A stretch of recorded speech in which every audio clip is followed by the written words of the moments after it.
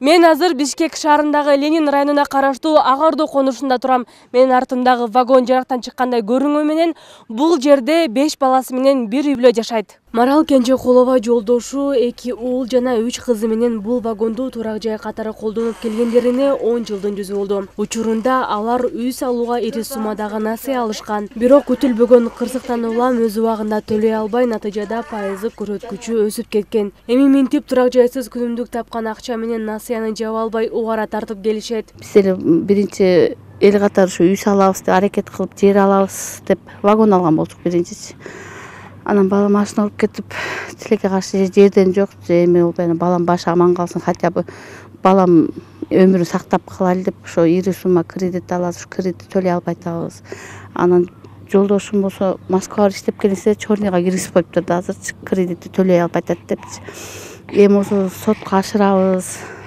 төлөбөсөңөр деп ошентип атат да.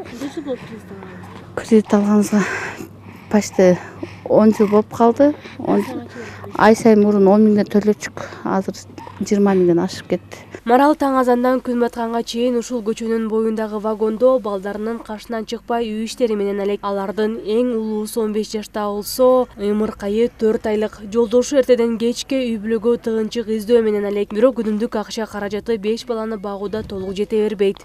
Базарда продукт сатат эме сухой фруктты а жаз келгенде могу клубинка черешня ушуларды сатат.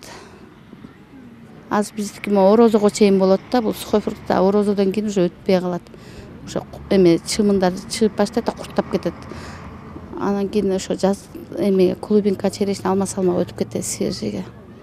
Күнүмдүк канча каражат түшөт сиздерге? Күнүгө мисалы үчүн сода болбоду деген үч миң төрт миң сом сода калат үч миң төрт миң сода бир миң алты жүз сомдон эме беребиз процент беребиз процентке алып иштейбиз да анан товар товарың азайып калат ал процент берип атып кайра алып каласың анан ошо күнүгө памперси сүтү болот эле күнүгө кетпеди деген расход бизге үч жүз төрт жүз сом кетип калат да тамак самак кылганыбызга продуктыларга ушинтип үй бүлө учурда балдарына кошумча жөлөк пул албайт. Тийиштүү адистер жолдошунун туулуп өскөн жеринде отуз гектар жер тилкеси бар болгондугуна байланыштырган. Ал эми ленин районунун мамлекеттик жөлөк пул секторунун башкы адиси буларга токтолду. Марал эжеге перечень документ бергенбиз. Э, чогултуп келиңиз деп.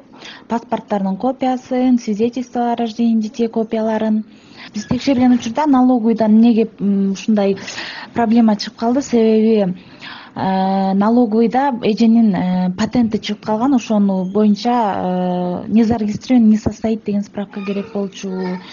Эженин эгерде түшүнбөгөн вопросу болсо бизге келип кайрылсын марал болгону отуз алты жашта. Ага карабай турмуштун оор арабасын жолдошу экөө бирге көрүп балдарын жакшы шартта жашоосун камсыздап берсек деген тилектери бар. Улзат байырбекова келдибек уланбеков ств